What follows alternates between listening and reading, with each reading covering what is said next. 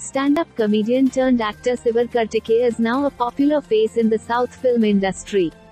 The actor's latest release, Prince, released on October 21 and despite competition from Mohanlal's Monster and Karthi's Sardar, Prince managed to pick pace overseas. The film is a romantic entertainer, directed by Anudeep KV. Sivakarthikeyan starrer Prince released on October 21. Early estimates suggest that the film worked well overseas on day one of its release. Trade analyst Ramesh Bala tweeted, hashtag Prince takes the best opening in USA. October 22, 2022 Sivakarthikeyan, who was last seen in Don, is back with his latest film, Prince. On October 9, the actor shared the Prince trailer on Twitter. The video revolves around what happens when his character in the film falls for a British girl.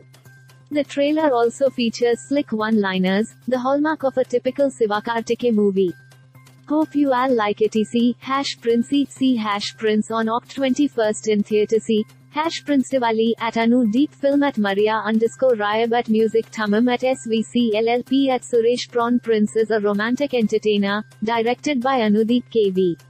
This will be his first film after Jathi Ratnalu, which emerged as a success. Prince stars Maria Ryaboshapka as the female lead and marks her Tamil debut.